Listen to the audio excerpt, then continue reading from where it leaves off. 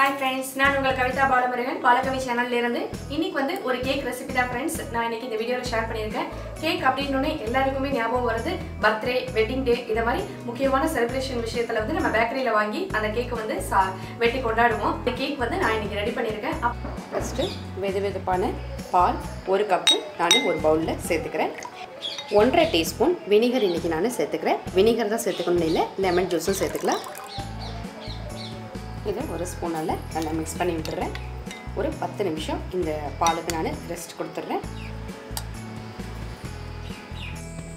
அவ்வளோதான் butter milk ready ஆகிடுச்சு இப்போ இதை ஒரு பவுலுக்கு மாற்றிக்கிறேன் வெனிலா எசன்ஸ் ஒன்றரை டீஸ்பூன் சேர்த்துக்கிறேன். குக்கிங் ஆயில் ஆஃப் கப் சேர்த்துக்கிறேன். ஃபஸ்ட்டு மைதா மாவு ஒன்றே கால் கப்பு சேர்த்துக்கிறேன். ஒரு கப் ப்ளஸ் கால் கப்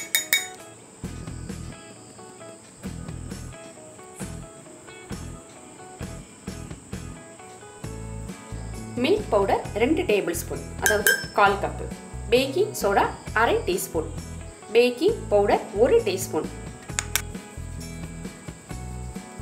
சர்க்கரையை பவுடராக பொடி பண்ணி எடுத்துக்கிட்ட பவுடர் சுகர் ஒரு கப்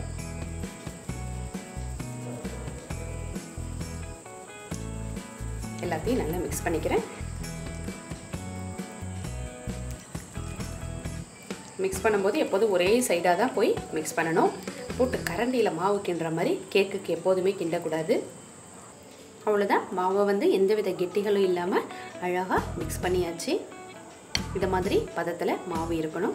இப்போ நான் இதை ஒரு கேக் டென்னுக்கு மாற்றிக்கிறேன் இன்றைக்கி நான் ஒரு செவன் இன்ச்சு பேன் எடுத்திருக்கேன். கொஞ்சமாக பட்டர் பீஸ் எடுத்திருக்கேன். பட்டர் அப்ளை பண்ணிக்கிறேன்.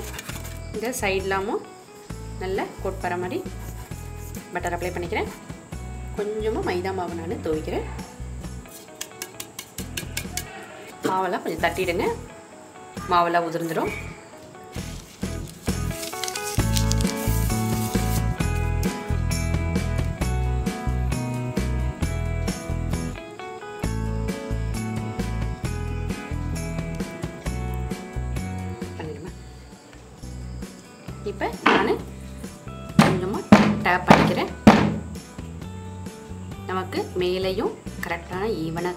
அடுத்தது ஏர் பபிள்ஸ் எல்லாம் ரிலீஸ் ஆகும்.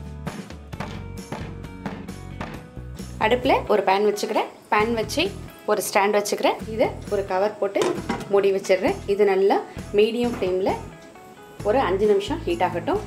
இப்போ பேன் வந்து ஹீட் ஆகிடுச்சு இப்போ பேனில் இந்த கேக் நான் கேக் டீனை வச்சுக்கிறேன். வச்சுட்டு ஒரு மூடி போட்டு மூடி வச்சிடுறேன்.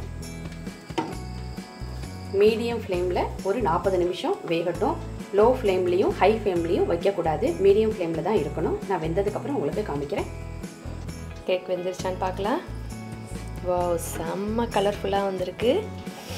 வாசனை கம கமன்னு சூப்பராக இருக்குது வெண்ணிலா ஃப்ளேவரோட பாருங்கள் நமக்கு கொச்சியில் ஒட்டவே இல்லை. இப்போ இதை எடுத்து ஆற வச்சிடலாம். கொஞ்ச நேரம் ஆறட்டும். கேக் கொஞ்ச நேரம் ஆடிடுச்சு லைட்டாக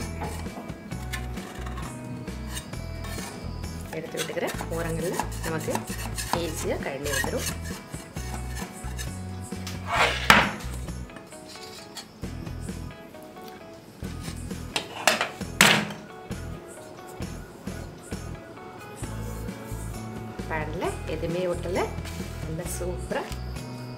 எவ்வளோ ஒரு சாஃப்டாக ஸ்பாஞ்சியாக இருக்குது பாருங்கள்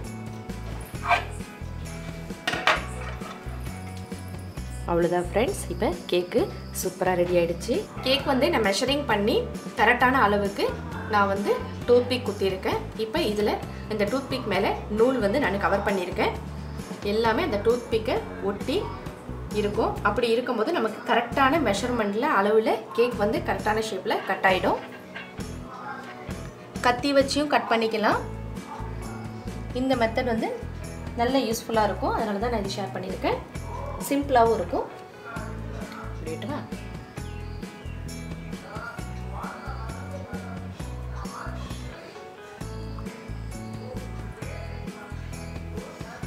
இந்த ரெண்டு பக்கமும் நூலை. இந்த பக்கம் நூலை.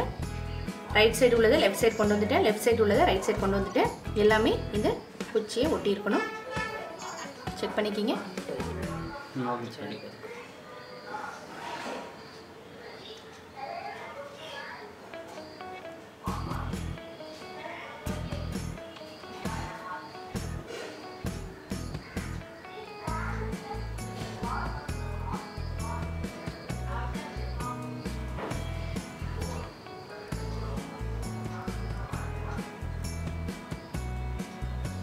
கேக் பாருங்கள் எவ்வளோ ஒரு சாஃப்ட்னஸாக இருக்குது சுகர் சிரப் பண்ணுறதுக்கு ஒரு ரெண்டு டேபிள் ஸ்பூன் சுகர் எடுத்திருக்கேன். அதில் ஹாட் வாட்டர் ஊற்றி நான் சுகரை நல்லா மெல்ட் பண்ணிக்கிறேன்.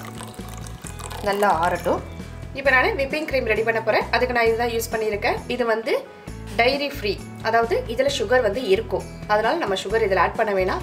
ஒரு கப் அளவு மெஷர்மெண்ட் இன்றைக்கி நான் எடுத்திருக்கேன். ஒரு நூற்றம்பது கிராம் இருக்குது அவ்வளோதான் இதை நான் ஃப்ரீசரில் வச்சிடுறேன். எப்போதுமே விப்பிங் க்ரீம் செய்யும் போது ஒரு பிளேட் ஃபுல்லாக நம்ம ஐஸ் கியூப் வந்து வச்சுக்கணும். இது அப்படியே ஃப்ரிட்ஜில் வச்சுட்டிங்கன்னா நல்லா ஐஸ் கியூப் ஆகிடும் நம்ம அதை யூஸ் பண்ணிக்கலாம். விப்பிங் க்ரீம் செய்ய போகிற பவுல் இந்த டூல்ஸ் ரெண்டுமே ஃப்ரிட்ஜில் வச்சு தான் நான் எடுத்துகிட்டு வந்திருக்கேன். எல்லாமே விப்பிங் க்ரீம் செய்யும் போது நல்ல சில்னஸாக இருக்கும். இன்றைக்கி நான் பிளெண்டர் யூஸ் பண்ண போகிறேன் அதில் ரெடி பண்ணிக்கிறேன். விப்பிங் க்ரீம் சேர்த்துக்கிறேன்.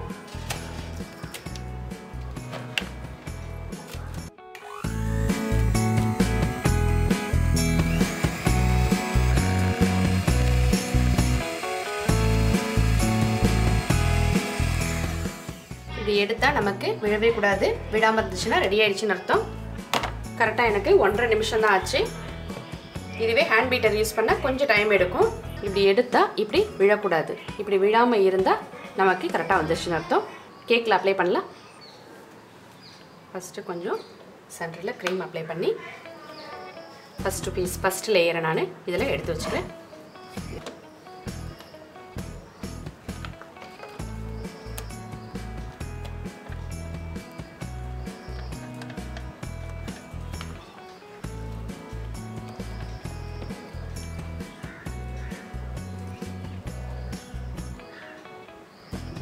அடுத்த லேயரும் மேலே வச்சுட்டு ஃபஸ்ட்டு லேயருக்கு நான் சுகர் சிரப் அப்ளை பண்ணிக்கிட்டேன். இதுலேயும் நான் அப்ளை பண்ணிக்கிறேன்.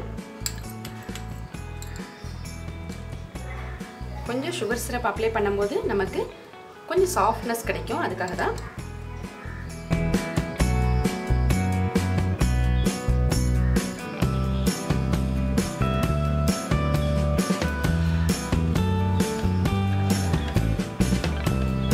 கொஞ்சம் சீக்கிரமாக கேக்கு வந்து அப்ளை பண்ணிடணும். நம்ம ஊர் டெம்பரேச்சருக்கு இந்த விப்பிங் க்ரீம்லாம் வந்து ஹீட் ஆகிடும் ஹீட் ஆகிடுச்சுன்னா ஒரு மெல்ட் ஆக ஆரம்பிச்சிடும் சீக்கிரம் ரெடி பண்ணி ஃப்ரிட்ஜில் வச்சிடணும்.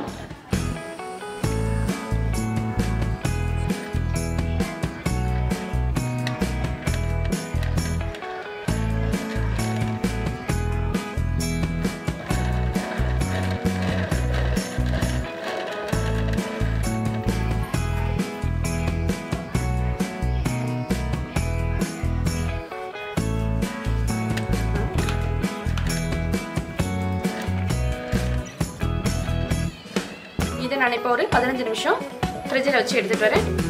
கிளாசிங் கேக்கு ப்ரிப்பேர் பண்ண போகிறேன் அதுக்கு நான் ஃபஸ்ட்டு ஃப்ரெஷ் க்ரீமை ஒரு பாத்திரத்தில் லைட்டாக ஹீட் பண்ணிக்கிறேன். ரூம் டெம்பரேச்சரில் தான் இருக்கணும் இந்த ஃப்ரெஷ் க்ரீமு லைட்டாக ஓரங்களில் பபிள்ஸ் வரணும். வந்தால் போதும் வந்துருச்சு. இப்போ நான் இதை இறக்கிடுறேன். சவுண்டு கேட்குது பாருங்கள் இப்போ ஒரு பாத்திரத்தில் ஒரு பவுலில் ரெண்டு டேபிள் ஸ்பூன் விப்பிங் க்ரீம் லைட்டாக எப்படி ஃப்ரெஷ் க்ரீம் ஹீட் பண்ணணும் அதே மாதிரியே விப்பிங் க்ரீமையும் நான் ஹீட் பண்ணிக்கிறேன். அவ்வளோதான் ஹீட் பண்ணியாச்சு. தண்ணி வச்சுருக்கேன். அந்த தண்ணி வச்ச பாத்திரத்தில் ஒரு கிளாஸ் பவுல் வச்சுருக்கேன். இப்போ நான் டபுள் பாயிலிங் பண்ண போகிறேன் ஒயிட் சாக்லேட் ஐம்பது கிராம் எடுத்திருக்கேன். தண்ணி நல்லா பபிள்ஸ் வர ஆரம்பிச்சிருச்சு. ஒயிட் சாக்லேட் ஐம்பது கிராம் சேர்த்துருக்கேன். இந்த ஃப்ரெஷ் க்ரீம் ஹீட் பண்ண இல்லையா இதை நான் இதோட சேர்த்துக்கிறேன். இந்த ஒயிட் சாக்லேட் நல்லா மெல்ட் ஆகணும்.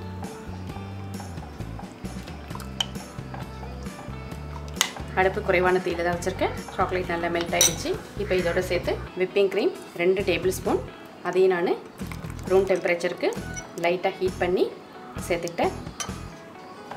இப்போ இதையும் நான் நல்லா மிக்ஸ் பண்ணி விட்டுக்கிறேன். இது நியூட்ரல் ஜெல் இதுதான் நம்ம ஜெல் கேக்குக்கு யூஸ் பண்ண போகிறோம் இப்போ இந்த ஜெல் வந்து ஒரு ரெண்டு ஸ்பூன்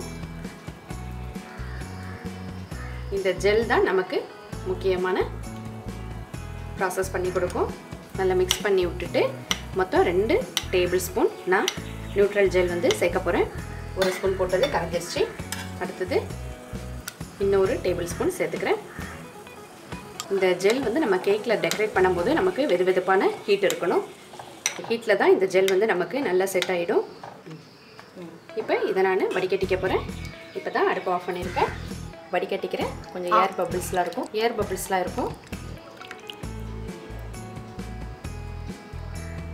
அவ்வளோதான் இப்போ கேக்கில் டெக்கரேட் பண்ணக்கூடிய ஜெல் வந்து ரெடி ஆகிடுச்சு ஜெல் கலர் இன்றைக்கி நான் ஆட் பண்ண போகிறேன் இன்றைக்கி நான் இந்த நேவி ப்ளூ ஜெல் கலர் தான் எடுத்திருக்கேன். இதுதான் இன்றைக்கி நான் கேக்குக்கு டெக்கரேட் பண்ண யூஸ் பண்ண போகிறேன்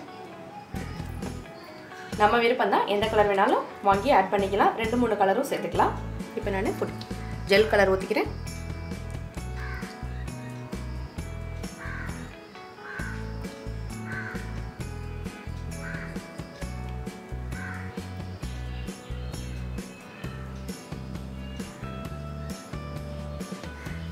ஒரு அஞ்சு ட்ராப் ஊற்றிருக்கேன் ஓகே இப்போ இதை ரெடி பண்ணியிருக்கிற கேக்கில் டெக்கரேட் பண்ணலாம். இப்போ நான் கேக் வந்து அடியில் ஒரு பிளேட் வச்சு பிளேட் மேலே ஒரு பவுல் வச்சு அந்த பவுல் மேலே நான் கேக்கை வச்சுருக்கேன். இப்படி வைக்கும்போது நம்ம மேலே டெக்கரேட் பண்ணும்போது கீழே நிறைய வேஸ்டேஜ் வரும். அது எல்லாம் அழகாக பிளேட்டுக்கு போயிடும். இப்படி மேலே வந்து பவுல் வச்சு வைக்கும்போது நம்ம கேக்கை ஈஸியாக எடுத்துட முடியும். இப்போ நான் இதில் மிக்ஸ் பண்ணி வச்சுருக்கிறேன். எல்லோ கலரும் நான் ஆட் பண்ணிட்டேன். பசங்க ஆட் பண்ணுங்கன்னு சொன்னாங்க. ஆட் பண்ணிட்டேன். இப்போ நான் இந்த சாக்லேட்டு மிக்ஸ் பீ மிக்ஸிங்கை இதில் நான் ஊற்றிக்கிறேன்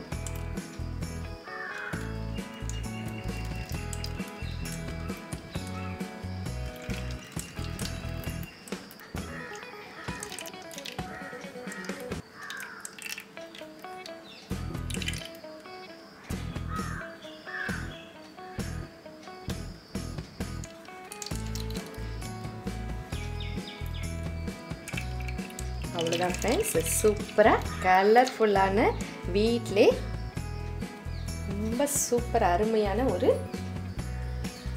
கிளாஸ் கேக் ரெடி பண்ணியாச்சு. நல்ல ஒரு நெய்வி ப்ளூ எல்லோ இந்த ரெண்டு கலரும் சேர்ந்து தான் இன்றைக்கி நான் இந்த கேக் ரெடி பண்ணியிருக்கேன். இது அப்படியே கொஞ்ச நேரம் ரெஸ்ட்டில் இருக்கட்டும். ரெஸ்ட்டில் இருந்தோடனே ஒரு ஆஃப் அன் ஹவர் ஃப்ரிட்ஜில் வச்சு நான் எடுத்துகிட்டு வந்துட்டு உங்களுக்கு காமிக்கிறேன். கேக் நல்லா சூப்பராக செட் ஆகிடுச்சு ஒரு ஆஃப் அன் ஹவர் ஆகிடுச்சு இப்போ கட் பண்ணி சாப்பிட்லாம்.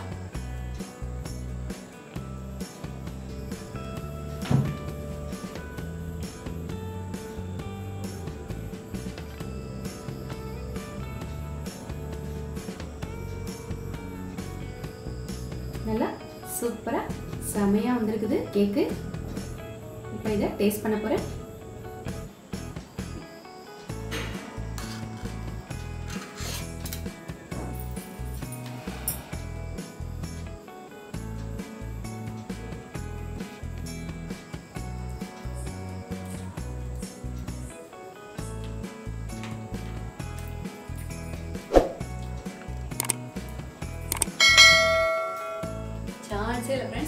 செம்ம டேஸ்ட்டாக இருக்குது அவ்வளோ ஒரு டேஸ்ட்டு.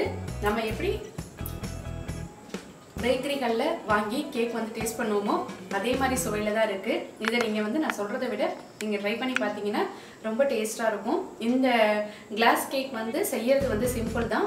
அந்த சிம்பிள் எப்படியோ அதை விட அந்த டேஸ்ட் வந்து சொல்ல முடியாத அளவுக்கு இருக்குது ஃப்ரெண்ட்ஸ் நீங்களும் செஞ்சு ட்ரை பண்ணி பாருங்கள் கண்டிப்பாக வீட்டில் வந்து வெட்டிங் டே பர்த்டே முக்கியமான ஃபெஸ்டிவல் எல்லாத்துக்கும் வந்து கேக் இருந்தால் நல்லாயிருக்கும்னு தோணும். அப்போ நம்மளே இதை மாதிரி செஞ்சு சாப்பிடும்போது அப்படி ஒரு மனசுக்கு ஒரு சந்தோஷமாகவும் இருக்கும். நம்ம செஞ்சு கொடுக்கும்போது நம்ம வீட்டில் உள்ளவங்களாமும் ரொம்ப ஹாப்பி ஆகிடுவாங்க நீங்களும் செஞ்சு ட்ரை பண்ணி பாருங்கள் ஃப்ரெண்ட்ஸ் ட்ரை பண்ணி பார்த்துட்டு உங்களோட கமெண்ட்ஸ் ஃபீட்பேக்ஸ் எங்கிட்ட ஷேர் பண்ணிங்க. புதுசாக இந்த சேனலை பார்க்குறீங்கன்னா மறக்காமல் பாலகவி சேனலை சப்ஸ்கிரைப் பண்ணீங்க ஃப்ரெண்ட்ஸ் மறக்காமல் வீடியோவை லைக் பண்ணிங்க. நான் தினம் தினம் போடுற வீடியோஸ் எல்லாமே உங்களுக்கு நோட்டிஃபிகேஷனாக வரும் ஃப்ரெண்ட்ஸ் தேங்க்யூ ஃபார் வாட்சிங் பாய்